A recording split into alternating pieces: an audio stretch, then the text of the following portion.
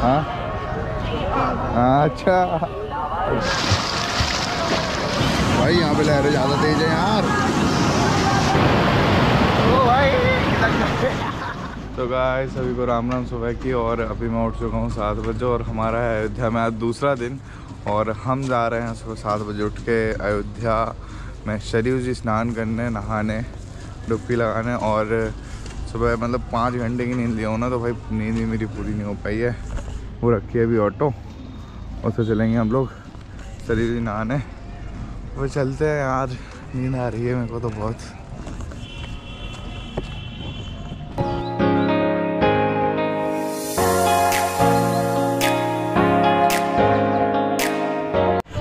तो अभी आ चुके हैं हम लोग सरयू नदी पे और भाई देखो, कितनी बड़ी नदी निकली है यार सरयू जी।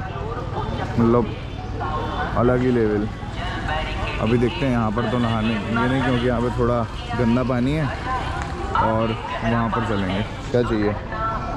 हाँ? हाँ अच्छा। तब चलते हैं आगे। तो भाई दीपक वगैरह चलते हैं ना, वो यहीं पे चलते हैं। सारे दीपावली को दिन वही देखो। हाय हाय हाय। क्या मज़े आ रहे हैं। जल्दी चलते यार, मैं तो रहा नहीं जा रहा, नहाते यहाँ पर। तो भाई अब जा रहे हैं नहाने लेकिन पानी इतना ठंडा है ना भाई अलग ही लेवल हाँ हाँ हाँ। भाई गहरा भी नहीं यहाँ पर वहाँ पर भी चलेंगे यहाँ पर नहाते हैं पहले।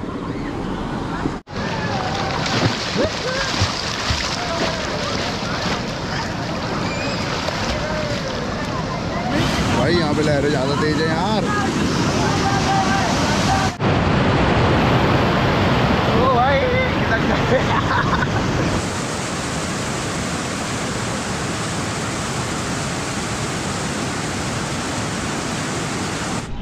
तो भाई अभी नहा लिया है और डुबकी भी ले लिया अब हमको चार बजे हमारी ट्रेन है लखनऊ से तो अभी यहाँ से लखनऊ जाना है।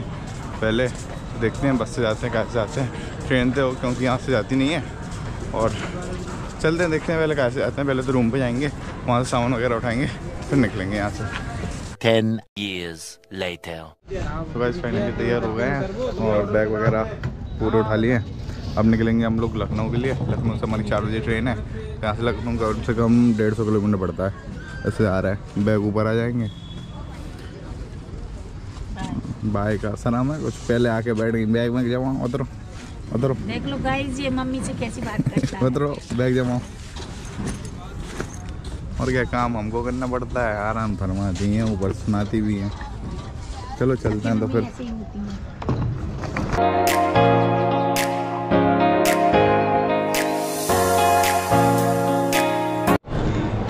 फाइनली आ चुके हैं हम लोग लखनऊ रेलवे स्टेशन।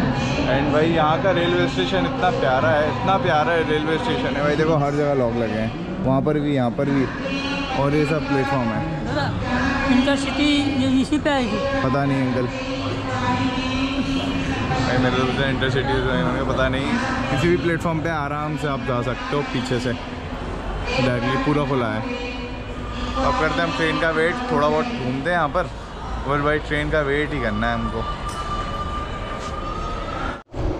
फाइनली आ चुके हैं ट्रेन में पता नहीं ट्रेन कब तक चलेगी। एक एक शीट है, एक शीट है, ये शीट है। ये मेरी फेवरेट सीट है लेकिन मुझे मिलती नहीं कभी। तो इंतज़ार है सिर्फ़ ट्रेन के चलने का।